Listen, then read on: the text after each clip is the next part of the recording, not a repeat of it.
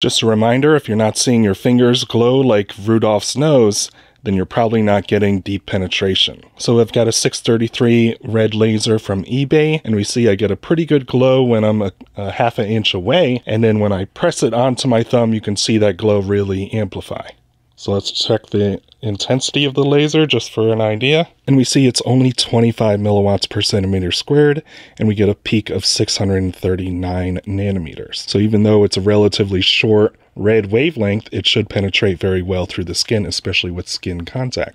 And now I just turned on my 633 LED panel that's 100 milliwatts per centimeter squared, 107.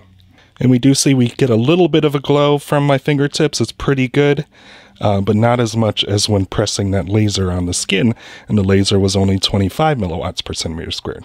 So we can see the thickness of my finger is about 15 millimeters, and we know several studies have reported that red light can penetrate anywhere from 20 millimeters up to about 50 millimeters. So that's a lot of penetration that we should definitely at least see some photons, see that finger lighting up. Even if we can't measure the output through the finger, we should be able to see those whole fingers lighting up. So a good test to see if your panel is actually getting you deep penetration with non-contact is to hold your hand up in front of it at six inches away or whatever distance they they advise and see if your fingers are really glowing. So it seems much more optimal to use a skin contact device that you can really press and get that penetration through the fingertips and really get that penetration that they advertise in the studies.